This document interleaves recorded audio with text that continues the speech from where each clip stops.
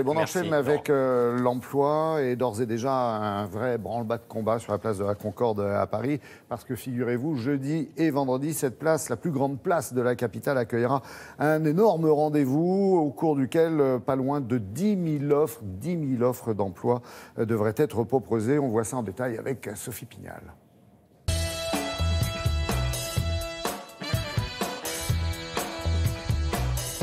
Le forum de recrutement Paris pour l'emploi est le plus important forum de recrutement en France. Cette année, ce sont près de 2000 responsables des ressources humaines qui seront présents.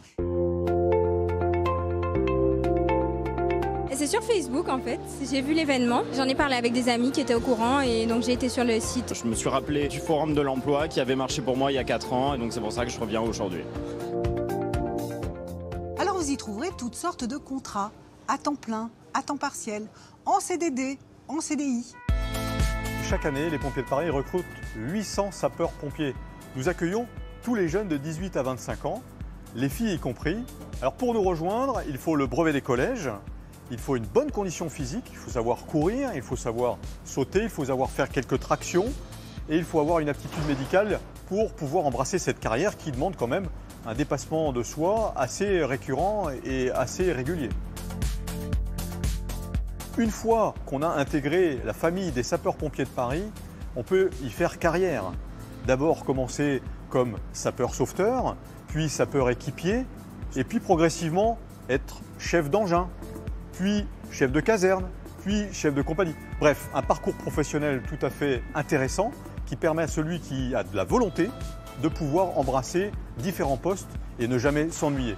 Alors si vous êtes partant, préparez-vous aux épreuves physiques. Autre entreprise présente sur le forum, l'établissement français du sang.